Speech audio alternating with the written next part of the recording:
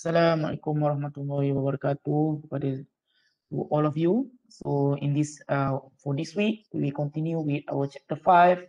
Everything needs to be secured.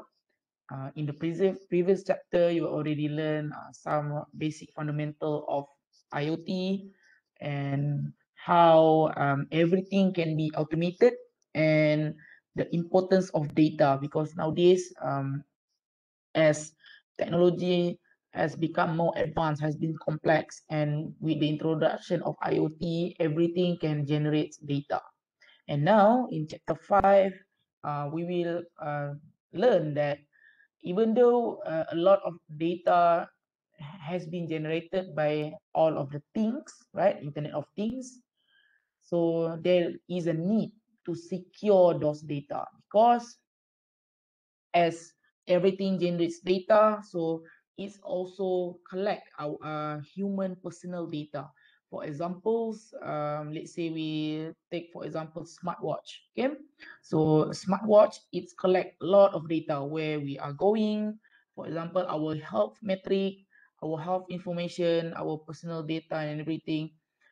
As it is very personal, so you as a technologist, as a system developer, IoT developer need to ensure that your user which are using your IoT product, your IoT solution, their data must be secure and cannot be um, used by unauthorized uh, person.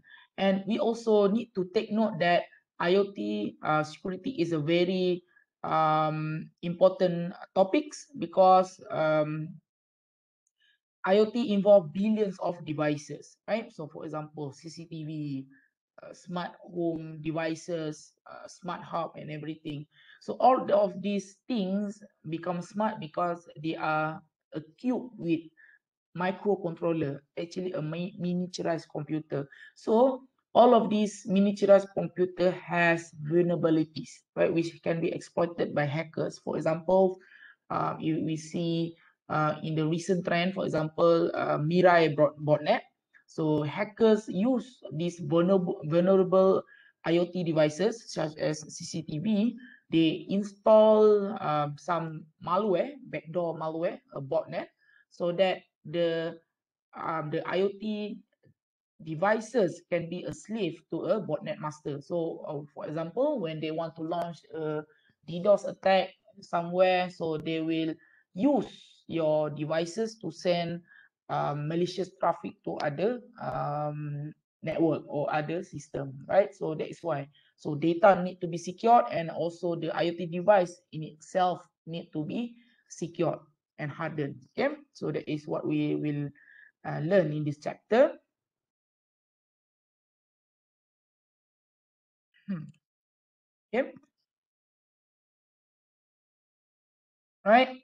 So the objective is uh, the security in digitized worlds. So uh, this chapter will explain why security is important in the digitized world, as I have, I have been explaining um, previously. So they, uh, the the things now um, able to collect personal information, right? Our health information, where we are going and everything. So the data need to be secure, and also the digitized world rely heavily on computers. So the computers need to be secured from vulnerabilities. Okay. And also this chapter will explain the need for security in the digitized world, why we need and how we can secure the corporate worlds and how to secure personal data and devices. Okay. So security in the digitized world. So data, there is a lot uh, type of data. So first we have personal identifying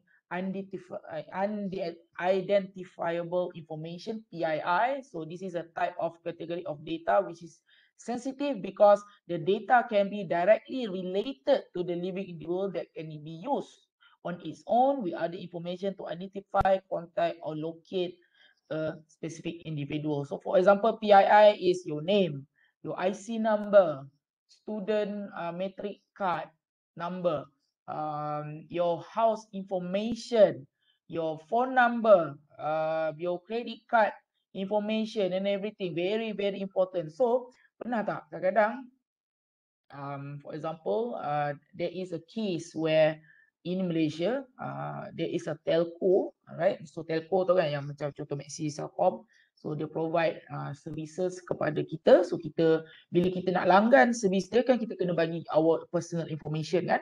So um, contoh kita bagi dia punya nama, uh, kita punya nama, nombor telefon, kita bagi kita punya alamat, um, umur and everything semualah our PII eh, our personal identifying information. So uh, ada case di mana hacker dah berjaya breach database telco tu so dia dapat so information tu dia akan sell kepada scammer okay? So scammer dia akan gunakan information tu untuk targeted untuk dia buat phone uh, phone scam punya uh, attack ataupun dia buat phishing attack. So that's why dia very important very sensitive the data because it can be used to harm the user. That's why we need to um to secure it. Even in Malaysia we have uh, an act, right? Akta Perling, uh, PDPA, Perlindungan Data um, Peribadi.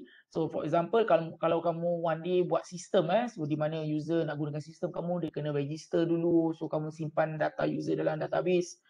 So um, all of that information is under PDPA Act. So you as a system owner uh, must responsible to ensure that uh, user data when stored in your database must be encrypted and your database system or your system must um, it's secure and follow certain guideline or SOPs so that hacker cannot sim cannot um, easily uh, get or leak the personal information of user which are using your services right? So tu penting. Ni sangat penting eh?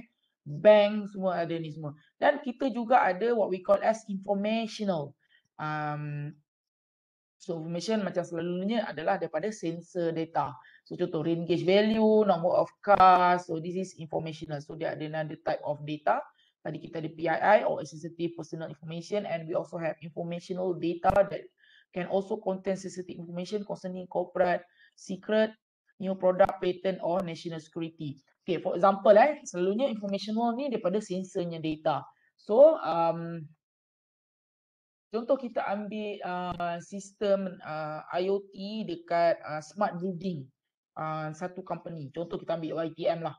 So, uh, contoh uh, database eh, disimpan eh, IoT punya sensor data tu disimpan dalam satu database. For example, hacker berjaya breach that data, uh, breach that database, dia dapat uh, extract all the data, informational data. So daripada situ dia gunakan teknik big data mining contoh saya dah tahu. Okay, dekat UiTM, dekat FSKM, uh, lecturer uh, ada daripada pukul sekian ke sekian. Uh, so daripada situ dia boleh plan untuk okay bila dia nak mencuri atau everything. Okay, so dia tahu pasal pintu hanya akan uh, dibuka pada sekian. Uh, sekian. Uh, contoh, lecturer hanya ada pada pejabat pada sekian uh, nombor, uh, pada sekian masa. Uh, so daripada situ pencuri boleh gunakan that information untuk plan dia punya jenayah. For example, okay, so kita boleh juga uh, gunakan everything lah. So even data, this all of the data can be sold to third party, uh, which is uh, not very uh, good lah. So kan all this information uh, sold to third party uh, via dark web so that they can earn some money. So they, this is that is illegal activities. Even it is informational uh, activities, uh, we must get the consent from the data owner. Okay. So, uh, so this is a slab. So nanti kita akan try buat. Okay. So who wants our data? So um, kalau based on the slide, so kita ada two type of category. So we have the good guys and the bad guys.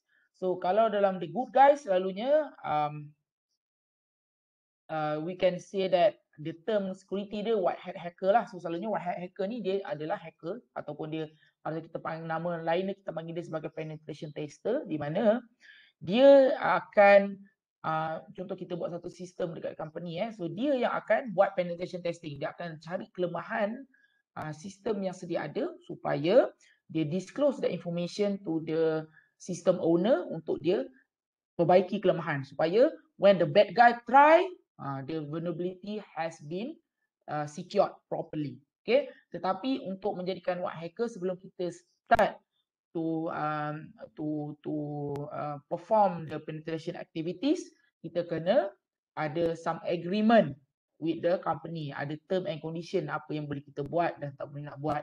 Even and the good guys we can also say that for example the data owner dia nak buat some big data analytics untuk dia punya kegunaan. For example macam bank dia nak tahu dekat mana customer dia tinggal mungkin dia nak buat market research and everything pasal itu adalah data dia. Okay so dia boleh dia, dia ada hak. Even kalau kita nak gunakan services dia kalau kita check dia punya term and condition dia cakap they can use the data to do some market research or anything lah. Okay up to them. And also we have the bad guy. So this is the hacker the bad hacker eh. So so this is uh the hacker which want to penetrate into the system extract all the PII such as you see uh, the uh, ID and password and and use uh, when they're able to extract the data they will sell the data to the black market so that uh, they can earn some money. And also maybe if they uh, they have uh, they have been hired by third party mungkin uh, ada uh, organisation lain mungkin our competitors untuk dia nak do harm to our business so dia boleh upah di bad hack uh, guys eh. Sebenarnya kita memang boleh upah kalau kamu uh, boleh masuk dark web, boleh kamu boleh gunakan Tor browser tu boleh tengok. Kita boleh upah uh, hacker. Dan juga hacker ni dia juga uh, jahatnya dia kalau contoh dia boleh breach into our network dia boleh plan backdoor. So in case dia nak uh, masuk balik ataupun dia boleh jadikan our machine ataupun our our system as a slave to their uh, larger botnet. So one day kalau contoh dia nak launch a uh, DDoS attack distribute, uh, distributed denial of service attack dia akan gunakan our PC uh, to send malicious traffic. And macam-macam lah. So hacker ni memang banyak. Kalau dia dah boleh breach the system senang cerita dia own our system. Dia juga boleh spread the malware spread the ransomware and everything.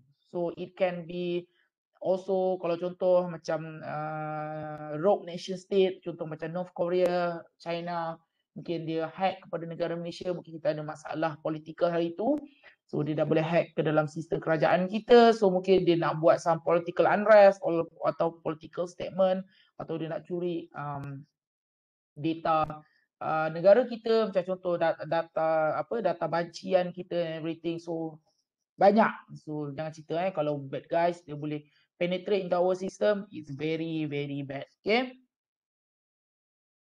So uh, when uh, data uh, in the wrong hand, it can cause a lot of trouble. So login credential and other personal data for more than 1 million Yahoo and Gmail account are reported been offered for sale on the dark web. Okay, uh, so itu dia dapat breach Yahoo punya um, uh, database. So daripada situ hacker dapat um, extract PII, personal identifying information. So dia ada username, password, uh, address and everything. So daripada situ uh, uh, dia dah jual dekat dark web kan. So contoh scammer dia nak buat scam ataupun dia nak try brute force or anything lah. So dia boleh beli that data from dark web. So um, for example kita juga ada case di mana cyber criminals penetrate Equifax, EFX, one of the largest credit bureau. So ni orang yang bagikan ni sebenarnya apa ni financial um, organization lah dia provide credit kepada user lah mungkin nak uh, mortgage atau nak apa nak nak nak, nak loan rumah ke everything. So bila dapat all that uh, personal data dia akan jual untuk dapat information. Dan daripada situ uh, macam-macam lah boleh buat uh, ke, kegiatan jahat. So dia boleh tahulah orang ni pinjam apa dia boleh jual kepada scammer and everything. Banyaklah kalau sini kita dia listkan ni mata kata eh so kita boleh cakap um, setiap tahun mesti ada major breach. Even jangan cakap setiap tahun, setiap bulan mesti akan ada major breach to the system. Okay, well known system lah, bukan sistem yang kecil-kecil kita buat sini. Contoh macam kalau tengok sini, fitness pal, uh, kalau nak cerita uh, ransomware pun dahsyat.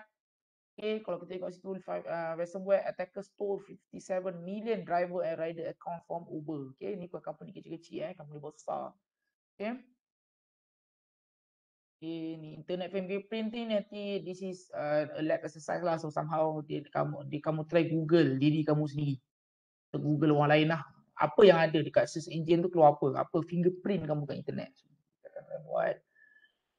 Okay, so this is security best practice. So uh, kalau uh, mungkin uh, kamu pernah ambil kelas ITT 450, okay, uh, network security. So uh, this is yeah, we we recapping back what we have learned. So memang kita kena buat perform risk assessment. So organisasi selalunya dia akan buat risk um, assessment.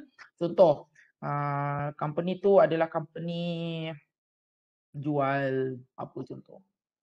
Uh, hmm, jual barang online lah for example kan, online retailers. So dia ada database lah semua uh, activity apa user information, PII, betul dia ada um, apa ni information berkenaan dengan uh, produk dia everything. So dia dalam database. So dia kena buat risk assessment. Kalau something berlaku dekat database dia tu, apa akan jadi kepada business model dia? Apa akan jadi kepada business process dia? So kalau risk tu tinggi, so dia kena provide a lot of resources and effort to secure that database. Ha, so contoh, dia buat risk assessment. Okay, dan daripada situ, daripada dia punya risk assessment, dia kena buat security policy, dekat mana yang dia penting untuk uh, untuk secure kan betul kena buat physical security measures dekat data center dia mesti uh, lock cage kena letak kat proper data center which the security dia ada CCTV dia ada guarded access and everything.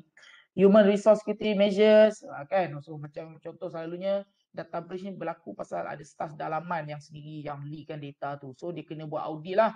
Dia kena buat uh, training betul dia kena make sure that the credential only given to the um, important person. Maksudnya only to the admin lah. Tak semua orang boleh access tu. And dia kena perform a test backup. Of course backup ni jangan cerita eh. Memang dekat organisation database system must have backup. Tak boleh tak ada backup. Dan kena ada security patches sentiasa. Contoh macam dia, dia run server dia gunakan Ubuntu 18.04 so contoh kalau ada orang disclose yang Ubuntu 18.04 ada certain vulnerabilities ada spectral uh, vulnerabilities or something So dia kena patch lah. Kalau dia still tunggu je then uh, tunggu je lah hacker akan exploit that vulnerability untuk dia pawn dia punya sistem. Okay. Kena buat access control macam saya cakap. Uh, certain uh, jangan bagi semua staff semua access kepada sistem. So hanya bagi uh, limited access to the staff. Kena buat incident response. Uh, so ni banyak lah. Ni kena educate user. Data mesti encrypt. Simpan user, uh, password user dalam database mestilah kita encrypt, kita mesti hash dia. Jangan sekali kita simpan dalam plain text. Even kalau kamu buat IoT punya sistem pun nanti, uh, sensor data ataupun some PII, kalau mungkin kamu ada gunakan PII for example, simpan dalam MySQL database, that information must be hash. Password tu mesti hash. Okay. So kita kena ada buat network monitoring, kena ada kan, uh, kena ada our SOC, Security Operation Center, kita kena monitor, kena tengok log, implement network security devices macam firewall, web application security, access list dan kena kompresi endpoint security solution. Nah, senang cerita endpoint security ni mostly akan buat IDL apa? Uh, apa ni? Host IDS ataupun orang senang cerita letak antivirus lah dekat komputer orang. Okay. Okay, so physical security, so kita tadi apa yang dimasukkan physical security, okay, macam contoh kita ada computer room atau data center, So kita first kita kena ada outside perimeter maksudnya kena ada uh, security officer lah ada guard. Kalau kamu pergi tengok data center kat Sabah Jaya macam contoh dekat CX, CJ1 atau CJ2 ataupun dekat Menara Ames dekat luar dia nak masuk data center tu bukan senang eh. So memang ada banyak proses kena register and everything, ada security guard, ada gate, ada pagar, ada CCTV and everything, even ada alarm. Dan once uh, itu untuk outside, untuk inside pula bila once kita dah ada dalam database tu, first thing kita akan ada nama dia uh, security trap. So maksudnya security trap ni adalah uh, pintu tau. Maksudnya uh, bila orang masuk, orang belakang tak boleh ikut pasal pintu belakang kita akan tutup. Uh, bila orang uh, pintu belakang dah tutup, baru dia akan buka pintu luar supaya uh, orang belakang tak boleh nak follow. Faham tak? Uh, dia tak boleh nak buat apa dia macam follow. Maksudnya orang belakang tu contoh eh. Orang belakang tu tak boleh nak masuk pun tak ada authorize so dia buat macam shoulder shuffling kan macam dia ikut belakang kan tak boleh. Dengan ada man trap ni security trap ni hanya seorang dia boleh masuk dalam satu masa okay and kita ada CCTV electric motion detector biometric access memang. Kalau kamu buat pergi data center memang ada semua ni okay uh, so inilah physical security dan apa the challenge security untuk IoT devices? So increasing number of devices. Okay, kalau kamu tengok dia statistically, even statistically eh. So contoh, adakah kita boleh 100% uh, secure our devices? Of course tak. Okay, siapa dia boleh cakap? Okay, 100% IoT devices ni semua secure. Tak ada vulnerability everything. Merepek. Tak ada eh. Even kalau kita ambil the least estimate. Contohlah kita cakap 10% of the IoT devices can be infected ataupun can be penetrated. Are vulnerable. Contoh eh. Kalau contoh. Uh, dulu mungkin IoT devices ada uh, ada 50 million. So 50 million 10% berapa? Ha, betul tiba-tiba sekarang ni ada explosive, ada increasing number of devices semua nak jadi IoT. So dah jadi billion. Ha, so nampak kita ambil 10% yang sama letakkan billion apa jadi? Ha, kan lagi banyak so ada lagi banyak potential ataupun devices yang hacker boleh um, hack. That's why increasing number of devices is uh, challenging for IoT developer as the number of devices, internet sensor and smart device is growing exponentially and increasing the opportunity for attacks and uh, kita ada juga non-traditional location devices. So, so some IoT device are able to interact with the physical world. Okay, for example lah, kita ambil dulu, uh, for example, uh, contoh kita ambil dekat kilang. Jangan kita ambil dekat kilang lah. Contohlah kita ambil uh, industrial control system macam dekat power plant. Okay dulu mungkin tak ada internet so mungkin um, semua benda tu dia dan analog mungkin ada PLC and everything so bila sekarang ni ada teknologi IoT so sekarang ni contoh macam uh, jana kuasa elektrik TNB eh contoh dekat Parker contoh dia ada dia dia uh, has been equipped with uh, all these IoT devices dia ada Modbus dia ada PLC smart PLC and everything so dia boleh uh, remotely access kan uh, staff TNB boleh control dia punya power plant tu remotely uh, nak guna IoT canggih. Tapi sekarang ni nampak tak? Since dia um, uh, IoT tu dia boleh buat physical world. So sekarang ni hacker kalau dia dapat breach that system, sekarang ni dulu hacker dia tak boleh, dia tak ada capability nak buat letupan ke, boleh buat meltdown ke, boleh uh, ganggu uh, electricity ke. Sekarang ni dia boleh pasal dia ada IoT device dah directly connected dengan that important uh, plant, power plant. Uh, so dapat tak? Dulu mungkin hacker dia boleh just uh, dapat data ke apa. Sekarang ni dia punya damage dia boleh buat tu is physical. Dia boleh meletupkan power plant contoh. Ha, kan habis. Uh, banyak. Mungkin 20% daripada Malaysia tak ada power contoh. Right? Kalau dia boleh breach that system. And lack of ag- agreeability. So selalunya kalau IoT tu, kita dah contoh kita buat sistem, kita nak tengok suhu ataupun kita nak ambil uh, kadar taburan hujan gunakan IoT sistem. Selagi sistem tu tak rosak dan kita dapat data yang tu, selalunya orang akan berpendapat kenapa kita nak upgrade? Ha, nampak tak? Uh, kita tak nak kacau dia. Selagi dia jalan, kita tak nak kacau. Ha. So, uh, by having that gap, so uh, since kita tak upgrade software and everything, so gunakan vulnerabilities tu, so hacker dia boleh exploit that vulnerability to penetrate into our system. So that is the challenges of IoT devices.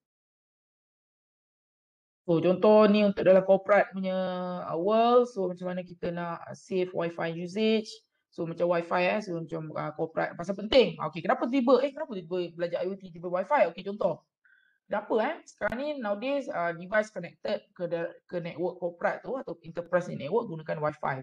Jangan cakap PC je, even macam IoT devices. Sekarang kita ada IP camera. Ha, dia connect, dia orang mostly tak pakai wire kan orang pakai wireless uh, door sensor and everything dia guna wireless okay untuk connect kepada network so contoh kalau kita dapat bridge dia punya nak bridge dia punya network kita kena first bridge dia punya wifi network lah. Okay so that's why penting untuk kita protect company wireless network. So macam mana? So make sure the default emergency password tu tukar lah. Okay nak test sama ada um, password tu dah tukar ke belum? Contoh uh, kamu try rumah kamu sendiri. Kamu pergi check Unify ataupun Slimit punya modem kat rumah kamu tu, okay? Kamu pergi flip bawah router tu, bawah router rumah kamu tu, nanti kat situ ada username, default username dan password. Okay, betul dia ada dia punya gateway IP tu kan. Ha, kamu buka laptop kamu, kamu try masuk dekat browser, kamu letak username dan password. Boleh masuk tak? Ha. Kalau boleh masuk, maksudnya rumah punya kamu, wifi rumah kamu tu, default password kamu tak tukar. Ha, nampak? Ha, tu selalunya lah. Ha. Change uh, SSID, SSID janganlah advertise SSID sewenang-wenangnya. Uh, kalau untuk kita nak bagi ke jiran, buatlah separate gas uh, wireless apa wifi punya SSID. Kena ada built-in firewall dan make sure the wifi um, data is been encrypted using WPA2 AES encryption. Uh, WPA orang dah boleh crack dia punya uh, encryption scheme. So kita kena gunakan the latest one WPA2. Dan make sure kita punya router tu firmware kena update and everything. Kena ada MAC address filtering. Uh, semua ni, so ni this is the basic. Macam ni kita nak protect our wireless network. Okay. So how we going to protect our devices? So make sure by default the firewall is on. Kenapa kita kena uh, make sure our firewall is on? So firewall ni dia hanya allow certain traffic untuk uh, enter and exit our devices. So selalunya firewall ni kalau macam kat window dia hanya akan allow which the user guna contoh macam nak uh, browse web so dia akan buka 80. So yang lain-lain tu tak perlu pasal kadang-kadang um, malware ataupun ransomware ataupun hacker dia nak masuk kepada sistem kita menggunakan port-port yang malicious, port-port yang selain not normalnya port. So kalau kita ada firewall dia di, uh, by default dia akan block all that dan dia hanya akan allow non punya port macam port 80, port 43. So by right by default kita dah securekan our devices. And also kita kena manage uh, operating system and browser, make sure kita update our operating system. Janganlah still kita guna Windows 7 Windows 7 basically dah end of life. Dan semua vulnerability.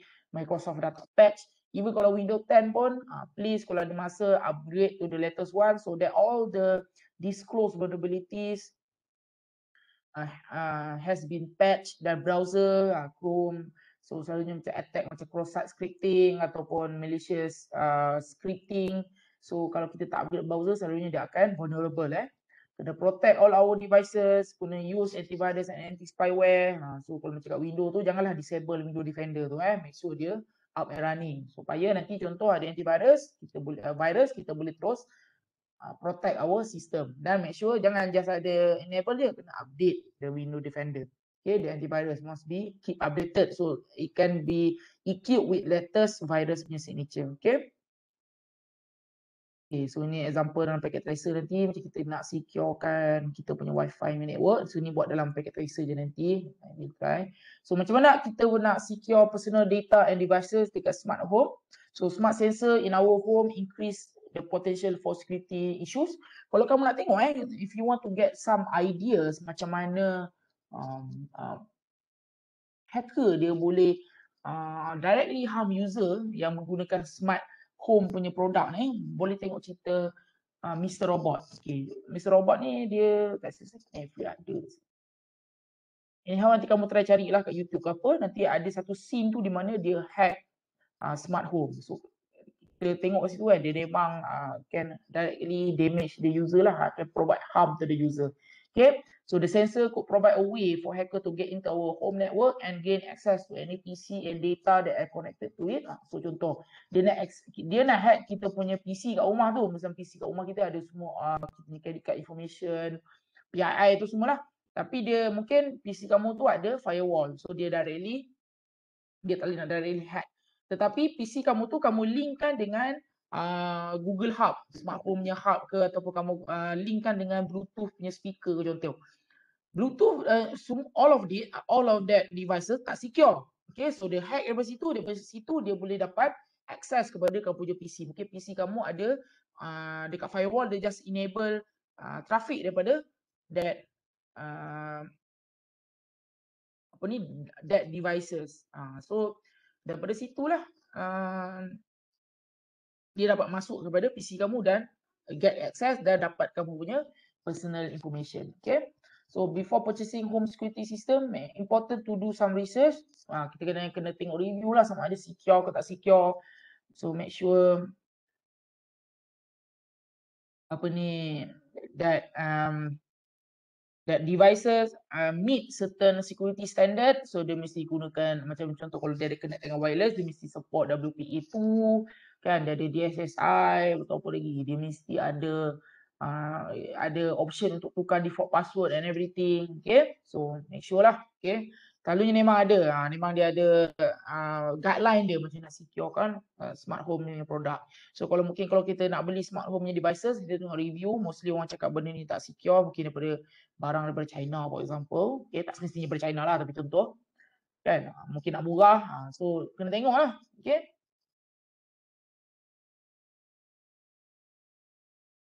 Okay, so kalau macam contoh dekat public hotspot, uh, so of course kalau macam contoh dekat Starbucks ke, uh, kamu nak gunakan dekat wifi dekat Starbucks ataupun dekat McDonald's, make sure kamu uh, jangan guna sewenang-wenangnya, gunalah VPN. Okay, VPN, ada je free VPN, kalau nak paid pun tak tak mahal.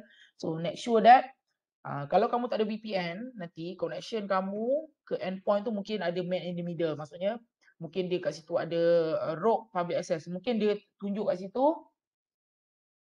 uh, access point tu Starbucks tapi sebenarnya bukan. Orang just ada satu AP yang some malicious AP dia gunakan SSID yang Starbucks yang sama kamu tak ada VPN bila uh, kamu gunakan kamu punya apa ni uh, as, apa kamu gunakan wifi free tu sebenarnya dia just ambil trafik tu dia redirect untuk dibaca data tu eh. So memang boleh So kalau ada VPN, kalau sebenarnya kalau jadi macam tu, sebenarnya VPN kamu tak takkan connect pun. Ha, pasal, pasal ada problem dia nak establish tunnel, encryption tunnel from endpoint to your VPN server. So penting lah. Even kalau macam Bluetooth pun, macam kereta selalunya, saya tengok ramai orang kalau Bluetooth kereta tu memang dia takkan tutup eh, dia buka je. So dari situ, it can be exploited lah. So dari situ, hacker boleh get into our car punya infotainment system lah. So, contoh ada ada map ke everything dia boleh hack mungkin dia boleh gunakan speaker dekat dalam kereta tu bluetooth uh, dalam kereta tu untuk dia listen kepada pengguna. Uh, mungkin kalau tiba kat dalam kamera tu uh, dekat tu ada kamera ke so dia boleh gunalah kan? Dia just get into from the bluetooth kan? Pasal mungkin kita punya dalam kereta punya smart radio ke apa tu uh, mungkin dia tak pernah patch dia punya android punya tu so very vulnerable so hacker boleh boleh hack just via bluetooth. So daripada situ dia boleh uh, turn on kamera uh, uh, kalau dari kamera betul dia mungkin di selalunya dia ada mic kan? Pasal kan selalu kita cakap uh, hey smart uh, hi proton uh, contoh kan ada mic tu kan? So dia boleh gunakan mic yang sama dia boleh listen apa yang kita kita bercakap dalam kereta tu. Kan? All that is personal information okay? So please turn off if not do.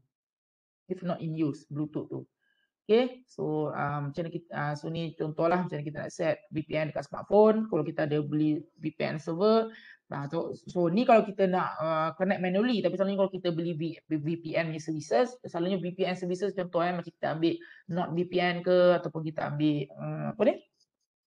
Apa nama dia?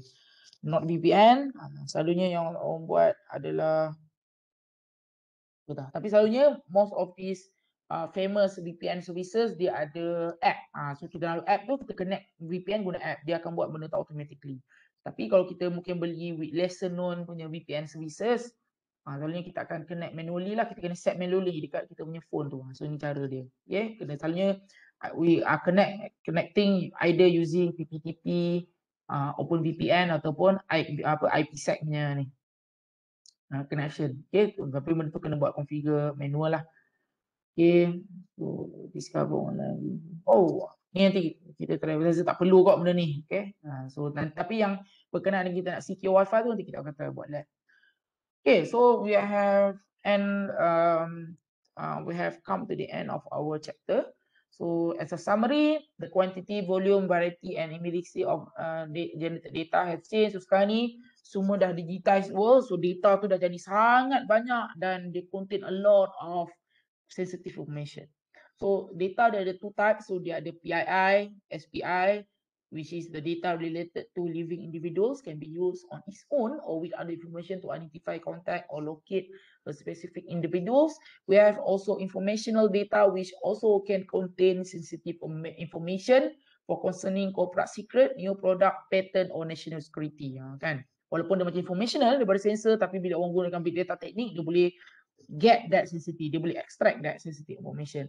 Dan kita juga ada the bad guy, kita ada white hat hacker tadi dah terangkan. Um, selalunya white hat hacker ada penetration tester, kita ada black hat hacker, right? orang yang akan uh, hacking for dia for bad purposes lah sebenarnya untuk dia punya gain, monetary gain ke atau personal gain everything. Dan untuk secure kita ada outside perimeter security, inside perimeter security, dan apa challenge IoT ni saya cakap lah number of devices dah booming banyak. So even kita ambil small portion of devices which is vulnerable, kita dah boleh uh, get a lot of vulnerable de um, devices. Dan non-traditional location of devices, so dulu mungkin dekat power plant, um, dia punya all that industrial control system not connected to the internet nowadays dah boleh connected so hacker kalau dia boleh breach that system dia boleh do some really physical damage okay and mungkin kalau dulu hacker just boleh buat deface website sekarang ni hacker boleh letupkan problem ha, nampak tak? Power of hacker nowadays. Dan juga lack of upgradability. IoT ni selalunya kita tak upgrade. So tapi that's why lah. Kita kena address that gap. Kita kena sentiasa update lah. Kena make sure our IoT system is secure. Dan macam ni kita nak uh, protect the company wireless network, gunakan WPA punya encryption, tukar default password, banyaklah. Okay, macam mana kalau kita nak protect our our own devices pula, kena ada firewall, kena upgrade operating system, browser, okay, kena ada antivirus. And also kalau macam smart sensor, make sure kita buat risk analysis. Kalau kita nak buat smart home kat rumah, make sure kita um, beli daripada vendor yang memang dia ada built-in security features dan juga kalau macam kita contoh nak gunakan uh, public punya hotspot so make sure kita ada subscribe to VPN services so that our data is secure okay from our PC to our contoh kita nak access my bank to you so that data cannot be tampered ataupun been used uh, or read by the man in the middle okay Okay, so I think that's it. So, uh, Assalamualaikum. Uh, I you guys um, for the next lecture. Okay, Assalamualaikum. Ada apa-apa boleh tanya saya dekat WhatsApp. Okay, thank you semua. Assalamualaikum.